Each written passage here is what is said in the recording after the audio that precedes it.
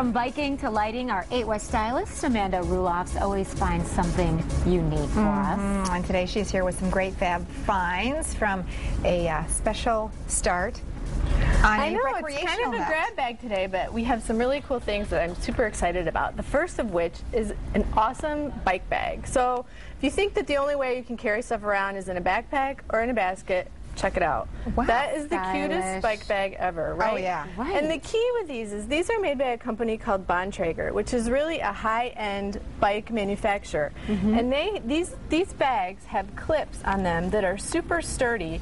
And if you have to get this particular rack that will go on the back of any Mm-hmm. bike, but when you do, you can just clip these. It's super sturdy on the bike.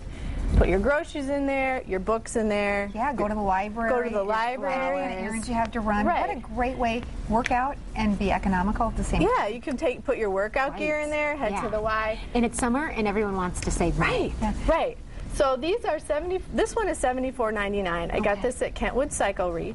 Um, actually, Joy Walzak, our uh, Skype reporter, this is her bike and her bag. So And we she wrote- Wrote it to work Oh, she today. brought it to work today just to be part of the uh, So- part of the segment. And you can see this one's a little darker. It's a little maybe more um, simple. This is very Uh-huh. this is girly. maybe a man's bag. Oh, yeah. Right. They come in different shapes and sizes, different prices, obviously, but they're Yeah. nylon, so they're weather resistant. Well, they Amanda, expand. you can't even tell, and this is no normal bag, and really you have that dual function there too, so it makes it even Right. more practical. So Yeah, you can just hop off your bike and you're good to go. So, okay, these are awesome. I have never seen anything like this before. These are by, excuse me, I'll set this down. These Okay. are by a woman named Nancy DeYoung, who's a mm-hmm. local artist, and people might recognize her. She's been around for quite a while.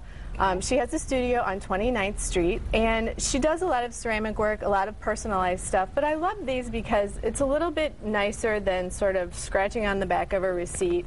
Hey, I'm home, or hey, pick me up at this time. Right. Um, these are tiles, and she she personalizes them or has different motifs on them. Those have little flip flops. Um, and you know, you just write your note. It comes with a stand. Those that's twenty dollars. This is a picture frame that's serves on magnetic. paper too. Yeah, I mean, Very it's just a, thing to do. It's just a little bit more, you know, a step up Oh, from yeah. the average trash that you know you have on your countertop. you've been to our house before and well, seen that whole disaster going on. Oh And then gosh. this one is this is um, a message board that could hang. I thought this could be cute for a dorm. It's just a Yeah. little bit cuter than sort of the whiteboard thing. Yeah. This is magnetic too, so you could stick a photo on there. Whoops. And you can change Sorry. it up, which is really, really Yeah. cute. Yep. Um, 35, 30, I believe, for the um, picture frame. Okay. She has lots to choose from at her studio on 29th Street. I Great, bet we'll get that information custom on make some our as website. well. And now this custom lighting. Okay, so this is more of a resource that I want to share with people. I love vintage lamps. You love vintage. I, know you do. We just were talking about Amsterdam yeah. this week. I've gotten some great lamps. So here's the thing there's so many awesome treasures you can find in antique stores, estate sales. But with lamps, you get fi- you find great lamps, but generally Exactly. lampshades kind of come in this condition. You know, they because just- they're old. They're yeah, old. Yeah, they're 40 years old. Smoking for 40 years in a house can kind of yellow them. So it's I've been mm-hmm. doing this for a long time, and just recently somebody tipped me off that Grand Rapids Lighting Center on 29th Street is a great resource for specifically drum shades, which are these round ones um, that are pretty stylish now, but also have a vintage look to them.